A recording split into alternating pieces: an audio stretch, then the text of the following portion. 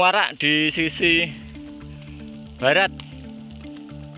Posisi di Hutan pinus di Gunung Warak masuk Desa Sumberejo Kecamatan Sine Kabupaten Ngawi, Jawa Timur terbakar pada Rabu, 30 Agustus 2023, pukul 13 waktu Indonesia Barat Perhutani dan puluhan personel gabungan bersama relawan berusaha memadamkan namun sempat terkendala medan.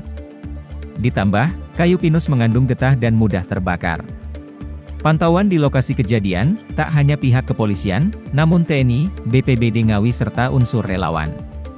Mereka sudah baik sampai ke titik api. Sayangnya, karena medan sulit, upaya pemadaman dilakukan manual. Mereka menggunakan ranting pohon untuk memadamkan api dan membuat ilaran. Widodo, anggota relawan SAR LPJ Ngawi mengatakan mereka dan petugas gabungan terkendala medan. Medan Gunung Warak tergolong curam.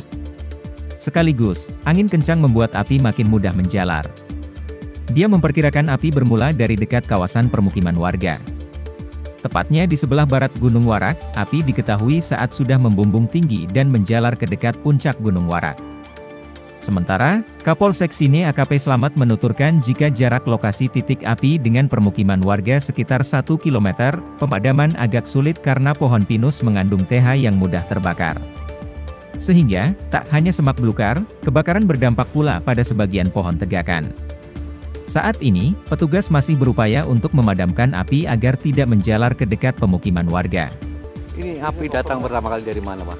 Dari sisi sisi barat, dari sisi barat ya. Yang terbakar ini selain pohon pinus apa aja, Pak? Eh, awal mula kemungkinan dari dari sisi permukiman warga terus berambah sampai ke hutan sampai ke pinus. Sementara kita antisipasi dulu di hutan pinus untuk menuju ke titik eh, Gunung Warak. Di sana ada perumahan RPU juga ada kabel listrik juga ada. seperti yang rekan-rekan lihat bahwasanya api sudah mulai akan berkurang. Tapi ini terus berupaya semaksimal mungkin agar api segera bisa padam. Pak, kalau melihat Pak itu pinus-pinus yang masih hijau, masih hidup itu bisa sulit memadamnya untuk apinya, Pak. betul jadi api ini ah, ge- ah, pinus ini sifatnya mengandung getah sehingga sangat susah dipadamkan. Jadi kita upaya prioritasnya yang bagian bawah setelah nanti bagian bawah sudah padam nanti baru ke pohon